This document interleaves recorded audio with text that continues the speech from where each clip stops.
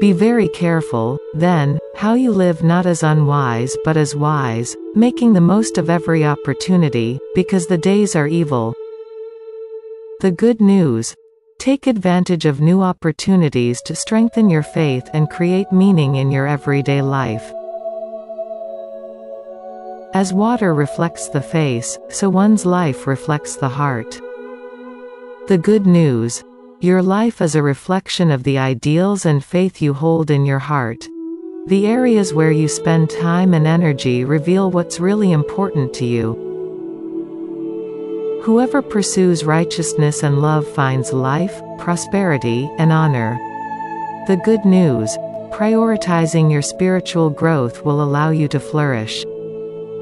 Continuing to develop your relationship with God is the key to building a life that brings you pride.